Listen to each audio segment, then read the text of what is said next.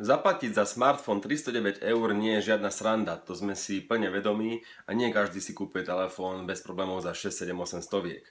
A preto sme tu aj my, aby sme vám poradili a obhájili, prečo si kúpiť Lenovo Vibe P1. Telefón za aktuálne 309 eur, ktorý ponúka výbornú výbavu. Otvoril som si Fony SK, základné info ako vždy.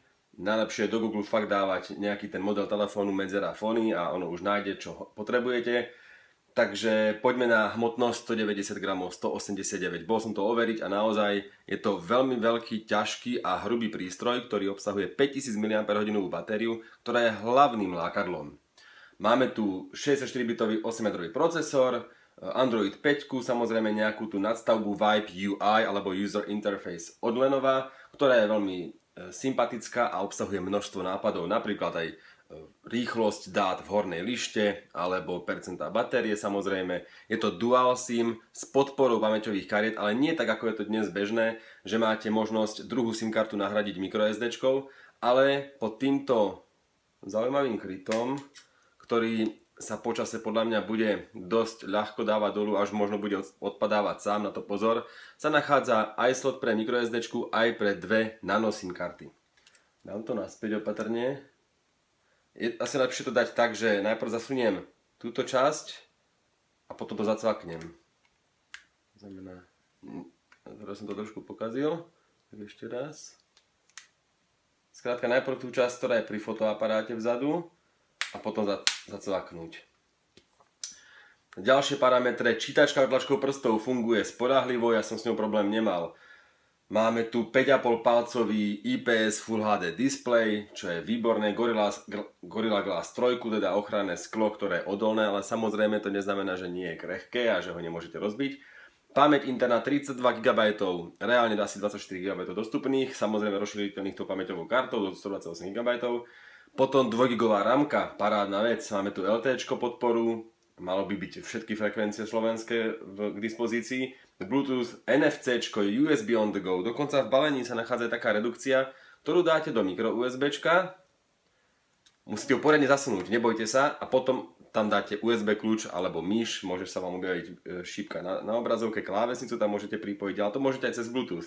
Ale dať sem USB kľúč a pozrieť si nejaký film alebo pustiť si hudbu priamo z neho je podľa mňa zaujímavým lákadlom. Takže nielen pamäťová karta, ale ešte aj takáto možnosť rozšírenia k dispozícii. V balení sa nachádza aj takýto obal, ja ho tam môžem nasadiť, ale on z toho telefónu urobí nie že škaredé káčatko, to je škaredú hus, lebo to je obrovský telefón Ďalej informačná dióda nad displejom, samozrejme GPS, FM rádio veľmi jednoduché, aj bez RDS, ale viete si vypočuť tú frekvenciu, ktorú máte obľúbenú a ktorú máte radi.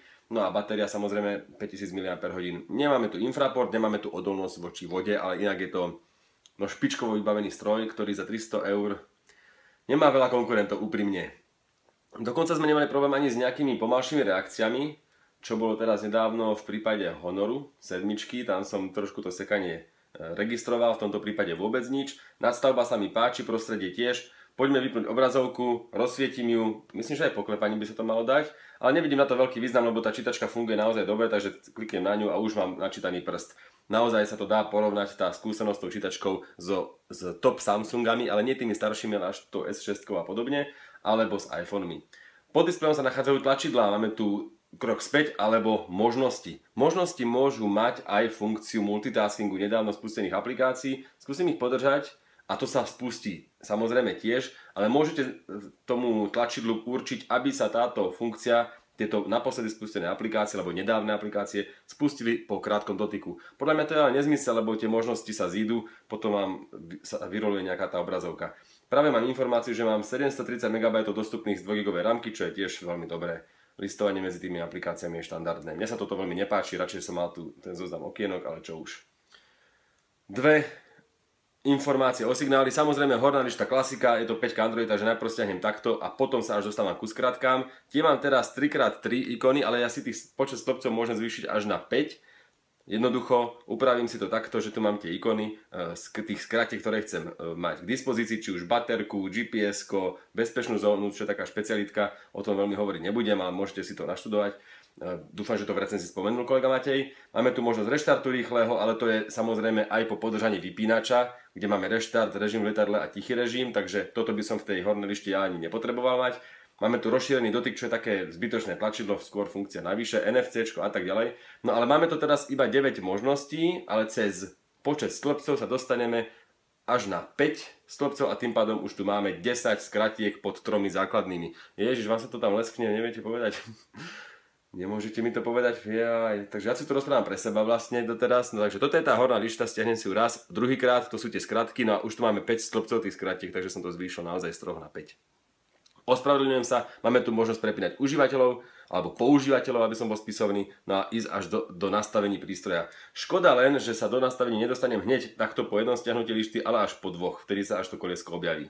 Nastavenia, opäť je to Lenovo, takže sú bohaté, nápadité, je tu toľko možností, že to podľa mňa týždeň budete hľadať a naozaj sa oplatí podobne ako v prípade smartfónov Huawei alebo Honor, prejsť každú položku po položke a všímať si aj tie tri bodky hore e, a nejaké tie ďalšie rozšírené možnosti. Napríklad idem do VLANu, do Wi-Fi a tu máme tri bodky a určite cez rozšírené nastavenia e, môžete si určiť zvýšenie sily signálu VLAN alebo vyhľadávanie vždy zapnuté alebo ponechať VLAN zapnuté v režime spánku. Lebo najprv sme tam mali smart, automatické zapnutie pri prenose údajov a to bolo tak, alebo veľakrát sa stávalo, že som rozsvietil obrazovku a až vtedy sa pripojila Wi-Fi a až vtedy mi stiahlo nejaké tie e-maily alebo nejaké notifikácie.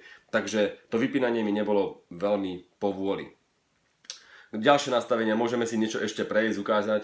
Mobilné siete samozrejme, máme tu dve, dátový roaming môžem vypnúť, napríklad štvorke je to celkom šikovná vec, lebo štvorka spoplatňuje dosť národný roaming, alebo dáta z národného roamingu, máme tu využitie dát, viac NFC samozrejme môžeme zapnúť, potom zvonenia a hlasitosť. Spodný reproduktor je naozaj veľmi solidný, musíme ho pochváliť.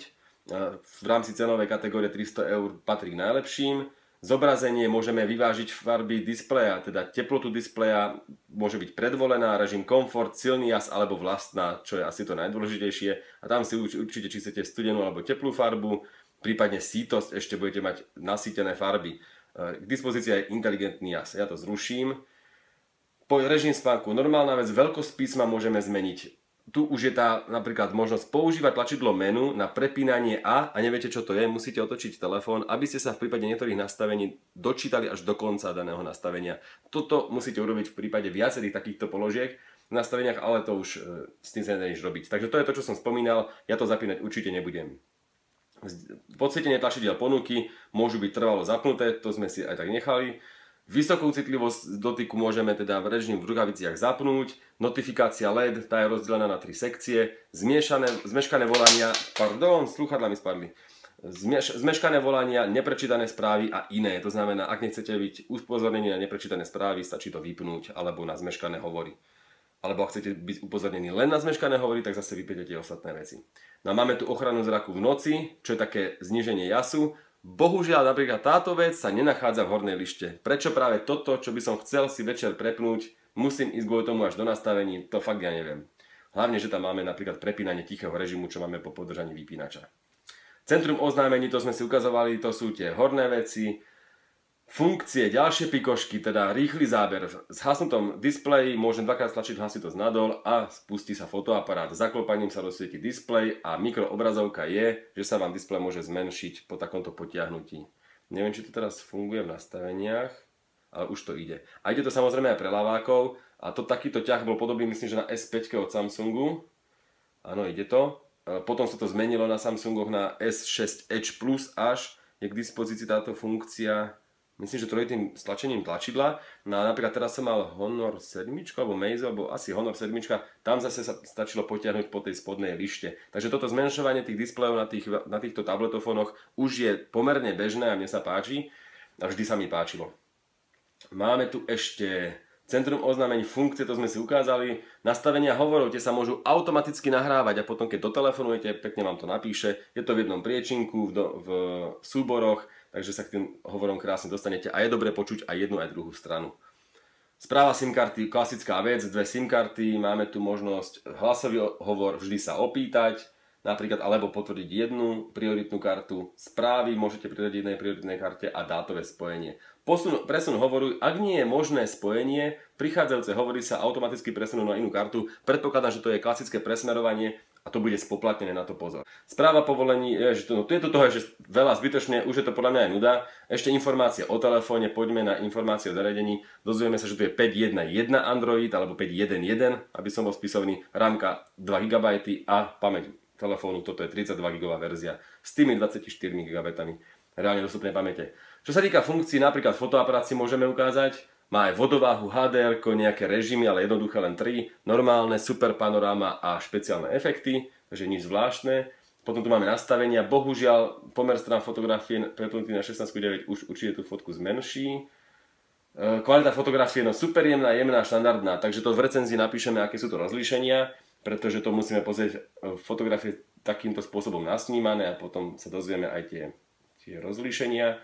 Metóda merania samozrejme môže byť vyvážený na stred a vodiace čiary, prečo sú skryté kolega Matej, ktorý to testoval, ich asi nemá rád, ale ja mám vodiace tieto čiary rád, lebo keď fotím napríklad krajinku, tak tá snímka je rovná a nepadá mi tam nejaké ten, to more typické, fotka mora a more sa vylieva, vylieva doľava alebo doprava. Na to si dávajte pri fotografovaní pozor. E, Full HD videá záznam, klasická vec. Predná kamera by mala byť celkom slušná, poďme sa na to pozrieť, ako to vyzerá. Ježiš, Maria, toto je tá funkcia ešte toho prisvetľovania.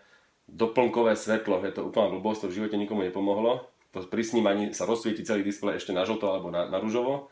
Ale to je nezmysel. No a ešte môžem samozrejme prepnúť prednú kameru, či bude mať funkcia zrkadlo, čo bude zapnutá. To znamená, ak to náhodou máte prevrátené, tak si to iba dáte naspäť. No a skúsime tú fotografiu urobiť. A zistíme, že to nie je až také zlé, určite. No takže predná kamera úplne bez, bez problémov v dobrých svetelných podmienkach, ktoré tu v štúdiu máme. Takže prešli sme si. Jedna dôležitá vec. Znižím hlasitosť nadol a alebo to je jedno tlačidlo hlasitosti a dostávam sa do režimu hlasných normálne zvonení, môžem ísť na prioritné alebo žiadne zvonenia. A tie si môžem dokonca načasovať napríklad na hodinu, že o hodinu sa mi prepnú naspäť, alebo 45 minút, po 15 minútach sa už môžu prepnúť 30, 45 hodín, 2 hodiny, 3 hodiny. Skrátka, idete niekam napríklad k doktorke, k lekárke, čakáte v čakárni, dáte si tam na hodinku tichý režim a potom sa to zase vráti na normálny režim, čo bolo napríklad bežné na Nokiách kedysi. Lenže keď ste v tichom režime, nefunguje budík. Ak napríklad máte vypnutý telefón, tak budík dokáže ho aj zapnúť. To máme v možnostiach nastavenia budíka. Ale keď tam máte tichý režim a dáte si napríklad časovanie, že varíte nejaké cestoviny, tak to sa ozve iba na displeji vizuálne, ale vôbec nie zvukovo. Toto je podľa mňa úplne nedoriešené. A nie je to bežné v Androidoch, toto je chyba podľa mňa iba Lenovo. Kalkulačka, záznam zvuku, kompas, normálne veci. Kompas je taká zaujímavosť, ktorá môže ešte vám dokonca aj ukázať vašu GPS polohu. To je podľa mňa na, tom ešte zaujímavejšie. A dalo by sa to možno použiť ako vodováha, to, tak je to napríklad vo funkcii kompas v iPhonech, tam sa dá prepnúť na vodováhu. A tuto je niečo podobné, také plusko tu beha, no ťažko to opísať, ale ja by som to ako vodováhu určite, ako presnú vodováhu nebral.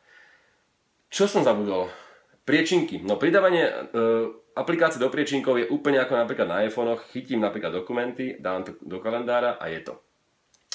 Honory napríklad alebo Huawei majú v tom priečinku ešte také plusko a môžem si tam pridať, zobrazí sa mi celý zoznam aplikácií a ja si pridám všetky, ktoré chcem mať v danom priečinku. Tuto to musím robiť takto ručne, pracne a keď sa mi náhodou telefón vymaže alebo vznikne nejaký, nejaký hard reset, tak už to zase budem musieť usporadovať e, postupne ručne. Keď podržím ruku na prázdnej obrazovke, môžem prepnúť tento, e, túto nadstavbu, tento launcher v časti preferencie na androidiacky, vtedy bude mať aj ponuku aplikácií. Lebo tuto samozrejme všetko na domácej obrazovke. Nastavenia domácej obrazovky sú tiež ešte nejaké, môžem rolovať tapety, môžem automaticky sa, aby sa mi automaticky usporiadali ikony, keď to je aktuálne, no a animácia prechodu obrazovkou tam môže byť ešte nejaká zaujímavá, no tak to sú také blbostičky. Záloha a obnova obrazovky môže byť pre niekoho zaujímavá, ale to iba myslím, že ide na pamäťovú kartu alebo pamäť telefónu, takže to nie je úplne boh vie čo. Ale keď tam podržím ten prst ešte, dostávam sa do nastavení a to sú nastavenia telefónu, takže tak sa viem dostať do nastavení telefónu ešte. No a to je asi všetko. No ak nie, tak samozrejme ešte na fotostolíku, na ktorý sa ešte chystám a tam vám ten telefón ukážem, ukážem e, detailne, tak tam samozrejme dokrútim ešte niektoré funkcie, ktoré som chcel spomenúť, ale náhodou som nespomenul. Ale nechcem byť úplne nudný a toto video na jeden záber vám určite už stačilo. Tento raz som to naozaj dal aj na prvý šup dokonca, nielen na jeden záber, takže teším sa na vás aj na budúce. Opäť s niečím zaujímavým v mojich rukách, no a poďme na fotostory, kde si ešte ten prístroj ukážeme detailne. Tešíme sa, že fanúšikov nášho kanála YouTube, YouTube kanála Fonieska pribúda každým dňom a je to pre nás veľká, veľká výzva a snažíme sa to robiť dobre. Takže ak máte nejakú kritiku, kľudne komentujte naše videá, sme radi a všetko čítame. Majte sa pekne. Ak ste si náhodou všimli tie dva strihy v predchádzajúcej časti, tak verte, že som to naozaj všetko hovoril na jeden záber, len som tam povedal jednu somarinu, ktorá sa tam nemohla ponechať. No ale poďme už na tú P1 s konečne odňatým plastovým krytom, ktorá má aj súrodenca P1M. Pozor na to, to je lacnejší a slabšie vybavený smartfón, myslím, že dokonca aj bez hardwareového tlačidla pod displejom. Tuto už vidíme jeden reproduktor, ktorý som spomínal, že je dobrý, ale na hĺbky zabudnite. Reprodukcia stredov a výšok je viac než dostatočná a hlasná. Odnímeme ešte aj ten dôležitý zadný alebo horný kryt, pod ktorým sa nachádza pamäťová karta a dvojica SIM kariet. No a nezabudneme ho ani poriadne zatlačiť naspäť.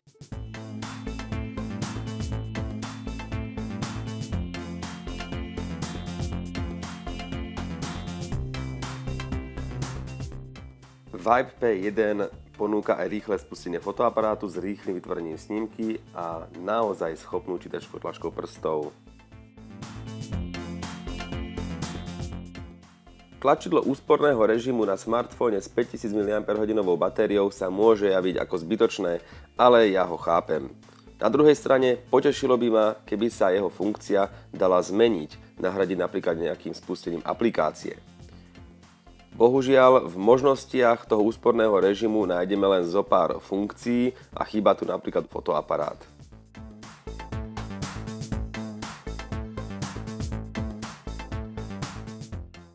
Funkcie správy alebo telefón sú aj v tomto úspornom režime klasickými aplikáciami ako v normálnom režime. Pre doplnenie si ešte ukážeme aj odomykaciu obrazovku úsporného režimu, ktorá je tiež úplne klasická, akurát neponúka napríklad stiahnutie hornej lišty.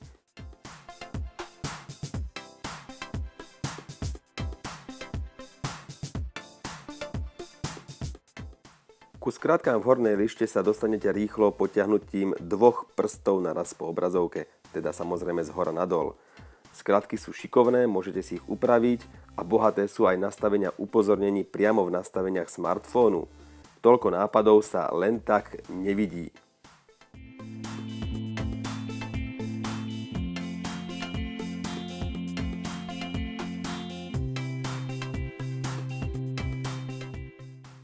Novo zapnuté Lenovo Vibe P1 by malo byť pripravené správať sa prípade pripojenia Wi-Fi rozumne, teda smart.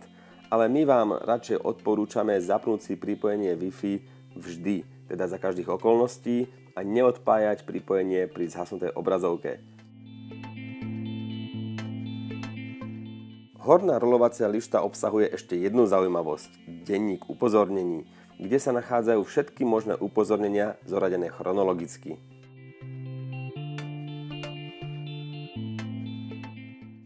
Takto to vyzerá počas hovoru, ktorý môže byť aj automaticky nahrávaný. Nahrávka sa potom aj automaticky uloží a v súboroch ich nájdete pekne všetky zoradené do samostatných priečinkov, myslím, že podľa telefónnych čísel. Ak niekomu nevyhovuje nadstavba Vibe UI od Lenova, môže použiť launcher od Google a takto sa k nemu dostanete.